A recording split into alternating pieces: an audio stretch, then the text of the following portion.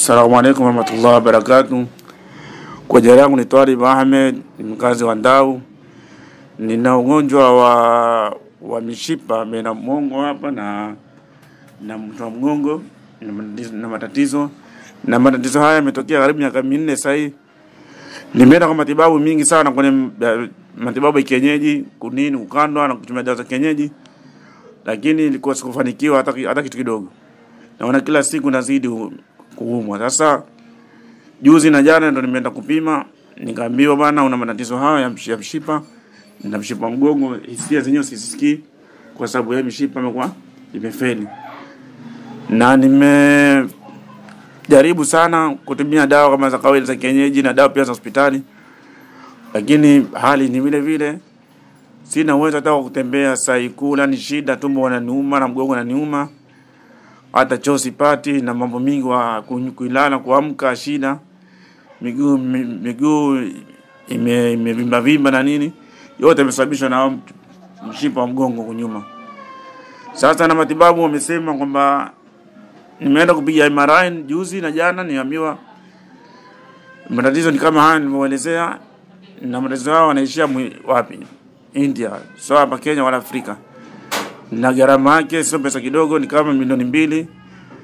Kasoro kasoro hivi, na familia hali ni ngumu, pesa hazina, kila mtu ana shida zake, maisha ni haya anavyoenda.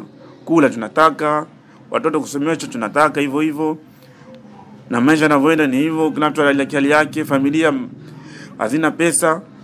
Nami ni mtoto wa familia, watoto wawili, na maisha ndio haya yanavyoona ikiwa una- unatembea shida ni hivyo hivyo, na ikiwa umelala basi ni hivyo hivyo.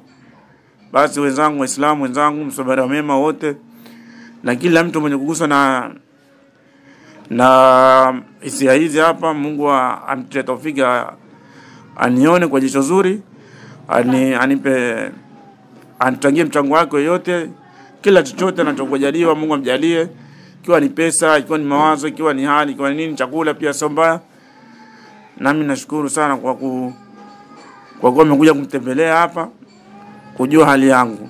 Mungu atilie taufiki inshallah, na Mungu awajazie la kheri. Ni kama mulivyosikia kwa ndugu yetu, ni kuwa mimi na wewe tunaweza kusimama, lakini yeye hawezi. Mimi na wewe tunaweza kutaharak, lakini yeye kulingamana na shida alionayo hawezi kutaharak. Kwa ajili hiyo tujaribuni kumsaidia ndugu yetu huyu, na jaza yetu tutaipata kwa Mwenyezi Mungu Subhanahu wa Ta'ala. Wamejaribu familia kujaribu kumsaidia kwa kipindi cha miaka takriban minne kumfanyizia matibabu mbalimbali mbali. Lakini hapa palipofikia wameshindwa, na wala jambo hili si la aibu kusema kuwa wameshindwa, kwa sababu ni kama tunavyojua ya kwamba matibabu katika nchi yetu hii ya Kenya yako juu sana, masomo yako juu sana. Ili wewe uweze kusoma mpaka umalize masomo yako ufikie pale unapotaka, basi utafika mahali ni lazima uombe, na katika hali ya ugonjwa hali kadhalika, ili uweze kupambana na magonjwa yako na uweze kufanikiwa, basi utafikia mahali ni lazima uombe. Kwa hivyo twaomba watazamaji, tumsaidie ndugu yetu kama huyu. Yeye ni kijana ambaye ana familia na familia kama hii inamtegemea.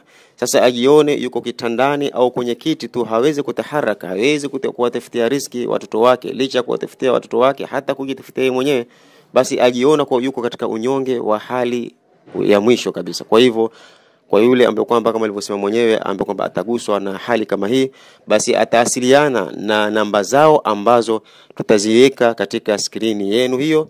Kwa hivyo yule ambaye kwamba ataguswa na hali hii, basi atawasiliana na namba zao wenyewe. Tutaweka namba ya Mpesa ama ya ya e, tutaweka e, tutaweka namba ya akaunti ya benki yao na pia tutaweka namba ya simu ambayo kwamba kwa yoyote ambaye atakayekuwa ataka kuwasiliana zaidi kujulia yani hali yake zaidi basi atawasiliana na wao wenyewe. Jazakumullah khair